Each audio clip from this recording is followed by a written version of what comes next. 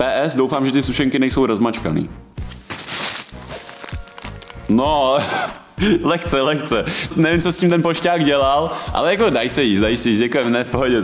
To... je čau, já jsem Denny a já vás vítám u nového videa a wow, a můžete tu libovou novou kvalitu té kamery, jak může vidět Libo je takhle širokouhlý, takže vidíte vlastně úplně všechno, co tady je. Je tam ten Liboj kompíček a já nevím, jestli to vidíte, ale tady tam mám rozpracovaný Liboj projekt a musím ještě dodělat miniaturu, pak bude to nový video hotový. A zrovna tohle je to video, kde jsme dostali takový ten YouTube play button za milion odběratelů v úvozovkách, protože oni se nějak spletli. Nevím, jak se to mohlo stát, ale, ale je to docela vtipný, že jsem to ještě neviděl, že by někdo posílal falešný papír nebo něco takového. Takže docela funny.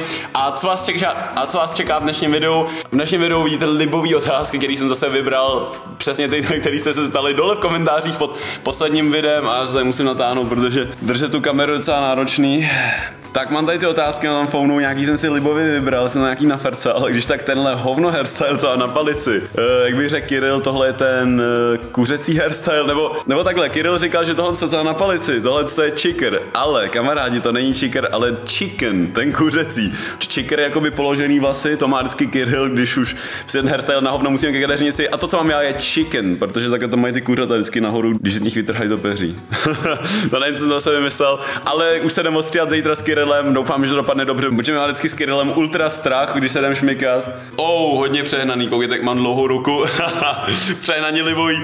Klidně můžete napsat dolů do komentářů, jestli se vám tahle ta kvalita toho videa líbí. Je to takový trochu jiný, ale eh, snad si zvyknete, znáte to, já jsem se taky musel zvykat. Ale te, přísám, že ten zvuk je liboj. Doufám, že to slyšíte, ale ten zvuk je hodně nice.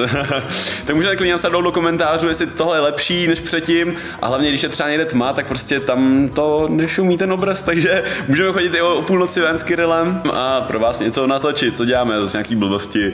Už ale nic nebudeme radši házet. Já se fakt musím počilit, protože jsem už jsem ultra unavený a dneska výjimečně, kamarádi, dneska výjimečně půjdu dřív spát, protože jsem chodil vždycky v pět ráno spát a teď už půjdu radši dřív. Dneska třeba takhle druhý už to vidím. Takže musím máknout s tím, s tím videem, ještě tam musím dodělat na tom kompíčku libovou miniaturu, kterou tak ještě nemám hotovou a pak můžu jít spát. tak a tak se na to rovnou vrhneme, abychom tady nezdržovali. OK, má tady libovou otázku od uživatele Klon Channel a ptá se, proč jsem přestal jezdit na koloběžce.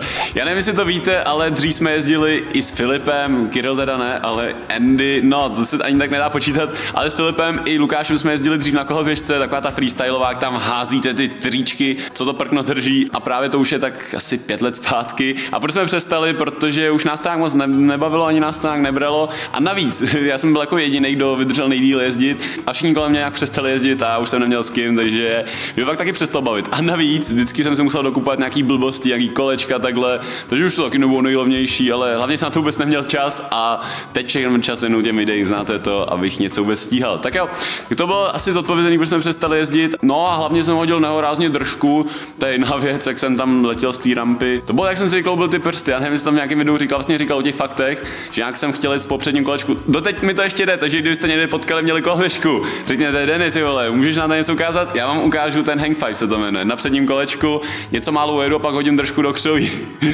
tak jo, tak se koukneme tady, co tady máme dál. tak máme tady další otázku od Jaroslav Sranda, ne, Sanda, a ptá se, jak dopadl Denisův notebook. Wow, to jste všichni viděli, jak Denis stal a jak bylo spolek, jsem si nevšiml, že si pod postel položil notebook a jak stal, tak si ho nehorázně do křup, něco tam prostě ruplo a jak šel pak zpátky, tak mu to bylo jedno a vůbec nic nečekoval, ale říkal, že byl nasranej a když jsem se pak ptal, kámo, funguje ten noťaz? říkal, že funguje, nějaká ta vrtulka se tam točí, takže nějaká známka života tam je. Takže ten notebook prej ještě údajně funguje. A když jsem se ho ptal, jestli fakt jako věděl o tom, že na to šlápnul, tak říkal, že prej spál a když se probudil, že prostě už netušil ani kam se ho položil. takže jediný štěstí ten notebook přežil, protože jinak eh, by se asi Zelenka nedoplatil. Nebo možná bychom se museli skládat na novej, ale on si na něj šlápnul, takže... wow, next question tady máme od Kuby Kudláčka a ptá se, jestli radši uhořet nebo utopit. Výborná otázka. Eh, bereš to pozitivně, kámo? Asi to druhý v té vodě, protože eh, nechci běhat tak takový ty démoni, jak jsou zapálený a běhají tady někde po sídlišti. ne, to fakt riskovat nechci a navíc to ještě bolí, když tam hoříte, takže vůbec. Ne, ne, ne, takže ta druhá možnost, zaplavu si, pak ještě to můžu pokecat s těma rybama pod vodou, takže to je asi ta ideální možnost. Ty vole, tenhle hovno kuřecí hairstyle, já bych ho poslal do prdele. My se musíme pak už střídat s Kirillem, ale jdeme na další otázku. Tak jo, uh, Niky Kojdová se ptá, ptá Denny, kde jsi přišel na tvoji přezdívku Treeman. já nevím, kde měla předanýho na Facebooku, nebo se díval, tak já se na Facebooku jmenuji Denny Treeman a Treeman není moje opravdový příjmení, moje opravdový příjmení, to uznáte, to tady nemusím říkat. Proč tam je Treeman? To je taky docela zajímavá story. já jsem se zase přesednul, protože už mi začíná bolet tahle hovnoruka a nejsem zvyklý na toho kameru. Takže ještě, ještě, nechte mě si zvyknout, kamarádi, nechte mě si zvyknout. A jak jsem přišel na tuhle přezdívku, to bylo tak, že jednou jsem kámošovi ukazoval nějakou, nějakou fotku, kde prostě byl týpek, který měl nehorázně long hairy, takhle dopředu měl ty vlasy a takhle úplně nastřílený ty vole, kdyby to prostě lakem přehnaně to neujaný. A já jsem mu to poslal říkám, kámo, to má úplně přehnaný hairstyle. A on, ty vole, to je Treeman, kámo. A já, he? Počkej, počkej, ty, ty znáš, kámo, on se jmenuje Treeman příjmením? A on, ne, vole, to má prostě dlouhý vlasy jak strom, vole, to má přerostlý. A Treeman, to, to nezní špatně, to nezní špatně. No, tak jsem tam radši dal ještě to háčko, abych fakt nezněl jak strom. A já jsem dřív měl taky tak, ty, takhle ty vlasy. Takže podle toho jsem to vzal, protože se mi to docela líbilo a nevím, na Facebooku jsem prostě nechtěl mít úplně pravý jméno. OK, Libo next question je tady od uživatele TF2 Studio.cz a ptá se, ta ozvena je na schvál. Určitě si to spoustu lidí všimlo, je tady docela mega ozvěna a to je tím, že to je prostě obrovský takhle všude. Je to tady prostě velký a ještě tady nemám úplně zařízený prostě, nebo jak by se to řeklo. Nem, nemám tady tolik nábytku, aby ta ozvěna zmizela, takže zatím si budu muset zvyknout a ještě tam vzadu mám takový ty, jak se to lepí na zeď, takový ty molitany, jo, akustický molitany, aby tady nebyla ozvěna, ale ty zatím tomu nějak nepomohly, protože jsem to ještě nenalepil. takže uvidíme, jestli tady budu ještě vůbec lepit, ale asi jo, ale musím vybrat kam, protože to nemůžu nalepit na strop a pak ty zdi, to bude stejně odrážet ozvěnu, protože tady, kolik tady 100, 112 metrů čtverečních, to se ten tak neodluční a najíst není rozdělený na místnosti, takže to ozvěna je tady fakt přehnaná. A zatím si budeme se zvykat, ale ten zvuk se bude postupně lepšit. Já nevím, jak ten zvuk je teď, ale snad dobrý, můžete napsat do, do komentářů. tak jo, jdem na další otázku od uživatele Lacosta Gosta. E, jaký člen Steetfix je nejstarší?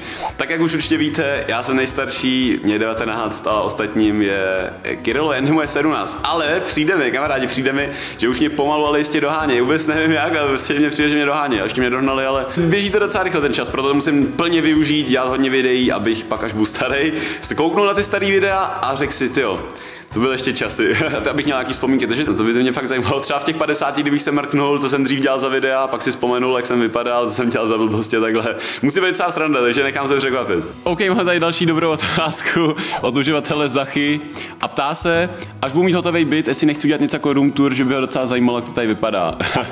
tak kámo, hele, mohl bych udělat room tour, ale ještě to tady není úplně hotový, pár věcí tam musím ještě doladit. No takže zhruba tak za měsíc s tím počítám, že bych mohl udělat takovou menší room tour, ukázat tam, jak to tady vypadá vypadá úplně komplet. Zatím jste vlastně viděl, jak vypadá tenhle ten roh, kde chilluju a spím a tam ten zbytek, ten přijde fakt. no, já se tady chci ještě zařídit nějaký věci, možná nějakou libou chillovací pohovku. Já vím, že máme tu pohovku TTX, ale to není úplně ono. To není taková ta pohovka, že přijete domů a skočíte na ní. Ale nějakou libovou by to chtěl do toho z toho rohu, protože nějaký prázdnej a nějakou ultra chillovou. Ale to ještě uvidím, tomu bych nechal ještě čas. Nebo teda pokud pravidelně sledujete naše videa, tak stejně se dozvíte, jak to tady zhruba vypadá, protože většině videí pak jakoby tak lehce odhalujeme, jak to tady vypadá. Takže pokud sledujete opravdu každý video, tak už přibližně víte, jak to tady vypadá a jak by to tady mohlo vypadat. Takhle. A ještě ke konci videa jsem se rozhodl, že bych mohl udělat takový menší unboxing. Je tam toho fakt mega hodně, je to narvaný jako hovado a vybral bych si něco takového. To přišlo dneska, nebo myslím, že to přišlo dneska, tak jsem to asi jdem rovnou podívat. Já vím, že tam jsou i starší balíčky, ale bych musel celý rozkopat, předělat a takhle, takže to se mi teď nechci úplně rozebírat. Tak se budeme na tenhle. Jo, já jsem si vlastně vzpomněl, že ještě z Forfans jste nám dali spoustu balíčků a ty máme ještě doma a taky na ně uděláme nějaký special unboxing, který se něco budeme na Forfans, takže něco takového ještě uděláme. Mám je doma, ne tady, ale ještě jsem v starém bytě. Tak jo, mám tady ten balíček a řekl bych, že můžeme jít rovnou na to. Ty vole, nějaký toaleťák, ne? To si... Oh, oh, oh, tak to je mega libový, koukněte na to. To jsou pendreky v cukru. Cože? S toaletním paperem, nebo co to je? Shit, tady nám někdo poslal takový ty sušenky, jak v tom je ten karamel. Hej, tak to je mega. A je tam i dopis, tak se mrknem. A je to s láskou Terka, Eliška, Kačka a Terka. je jich tam hodně, takže zdravím vás holky, děkujeme moc za tenhle libový balíček. PS, doufám, že ty sušenky nejsou rozmačkaný. No, lehce, lehce. Nevím, co s tím ten pošťák dělal, ale jako daj se jíst, daj se jíst, jako ne, v pohodě. To, jo, já myslel, že to je toaleťák, to, on to jsou peníze, takový ty, no jo, ten jedlej papír, hovno, pěti litr, no to se, no to si děláš prdel. Pěti litr v unboxingu, to jsme tady ještě neměli, kamarádi. Tohle je ta pětitisícovka, asi byla to původně, než to Denny takhle chytře roztrh. Hm, chutná to jak 5000. Tak jo, já doufám, že se vám tohle video líbilo. Pokud vám můžete dát zase like a pokud byste měli nějakou další otázku nebo se chtěli něco zeptat, mrskněte to dolů do komentářů, mě tam frcněte a když tak to v dalším díle zodpovím nebo udělám zase nějaký unboxing s něčím. To je takový, takový chillový díl. Tak jo, tak snad se vám to líbilo. Uvidíme se v další videa a zatím čau!